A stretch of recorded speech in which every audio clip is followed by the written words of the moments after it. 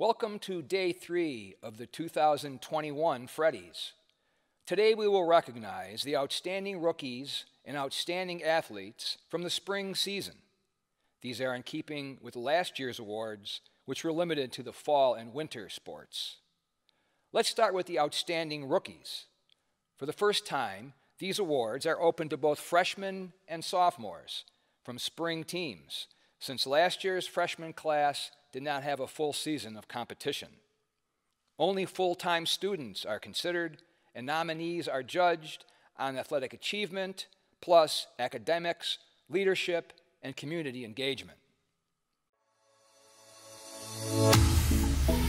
Thank you.